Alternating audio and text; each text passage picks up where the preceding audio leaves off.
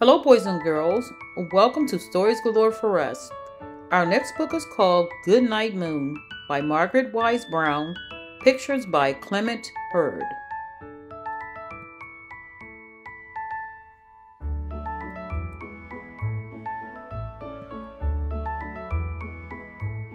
In the great green room, there was a telephone and a red balloon and a picture of the cow jumping over the moon.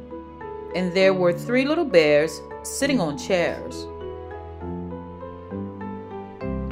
And two little kittens and a pair of mittens. And a little toy house and a young mouse. And a comb and a brush and a bowl full of mush. And a quiet old lady who was whispering, Hush. Good night, room. Good night, moon. Good night, cow jumping over the moon. Good night, light and the red balloon. Good night, bears. Good night, chairs. Good night, kittens, and good night, mittens. Good night, clocks, and good night, socks.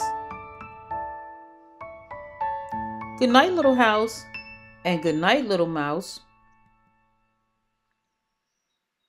Good night, comb, and good night, brush. Good night, nobody. Good night, mush. And good night to the old lady whispering, hush. Good night, stars. Good night, air. Good night noises everywhere.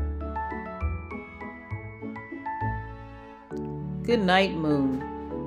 A bedtime classic, the very first book to share with a child. Thank you for listening to our story.